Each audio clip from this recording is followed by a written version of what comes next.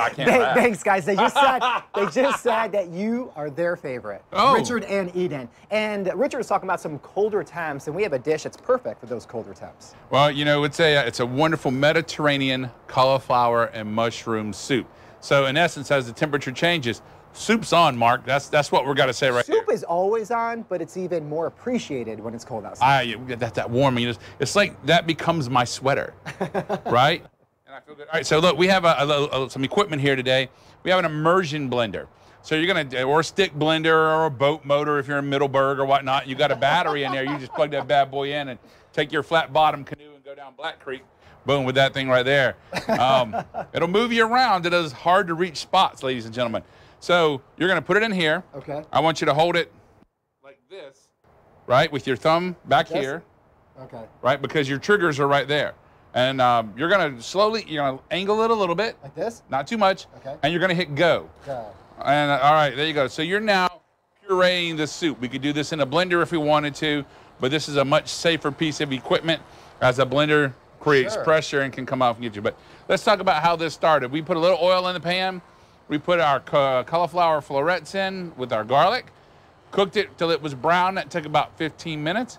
Took a little bit of the cauliflower out, went right in with our mushrooms, our yellow onion, started cooking that down. We added um, some paprika, ground cumin, and some turmeric to it, right? There's our Mediterranean flair, but we were reaching that through these spices that we're adding.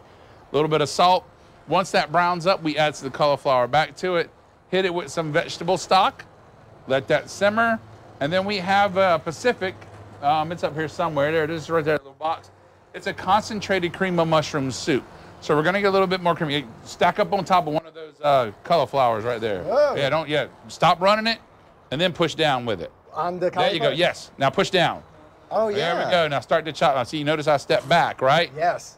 I do not wish to be yellow today. Oompa Loompa is not my color. So Now There. this smells delicious, and obviously you just described all the ingredients in there. So overall, what kind of flavor will this have? Will this have a little bit of a kick to it? Will it just be Um, no kick. It's just going to have like that cumin flavor. Yeah. And paprika, right? A lot of people say paprika doesn't have flavor. It really does. The goal with this soup, though, is you know I like to come here and hang out with you, hang out with Rance, Richard on the occasion. But you know, today I really brought some fun guys to the table that I know we're going to have a good time with when we get down to eating. Okay. This is delicious. And then now you should be able to just kind of buzz it up a little bit more. just go through there. Yeah, and you buzz it till it's your preference on puree. Okay, Yeah. you can take it as thin as you want. You can go all French on it and shove it through a chinois, which is a fine metal strainer, or you can leave the chunkiness in it um, and, and have texture as well. So Now, I'm, I'm good either way. This to switch it up a little bit, and you were saying, you know, another route you could do is like a blender or something like that. Yes. What benefits are you getting from using this? You don't safety. Safety. Safety number one. So think about when you put something hot in a blender Right. and you try to put your hand on the lid. Yeah. If you overfill that and hit go, you're not going to stop it from coming out. And then you risk being burned. This eliminates that, all right? You're taking the blade and we're actually putting it in and submerging it into what's going on. And then we can control how we're going to blend that up and we don't end up getting. Right. And Right. then I also like too that you have the ability to actually go to different vegetables and just blend it right there on the fly. Right. Because even with the blender, sometimes it just swirls it and then you put it and it's chunky in certain Right. areas. So you can I like that a concentrate. And this is a cool one. This one's got five speeds. I don't know what speed is it. Oh, let's turn it. Uh, let's turn it up, Chris. There you go. You know that's my 80s uh, rap song.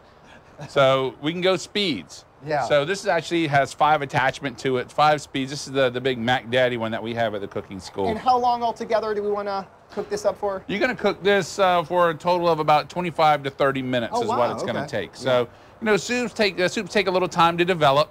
You want the flavors to really come together and, and things to get soft, especially if you want to puree them up. So it's it's about developing the flavor. And mushrooms come with a lot of flavor. That umami, right? That's that sixth taste sense that's out there. Uh, and I'm going to tell you, I, I was doing some research about taste sense, and there's a new taste that they that they think they want to add to uh, they make it number seven. What's that? It's called fat.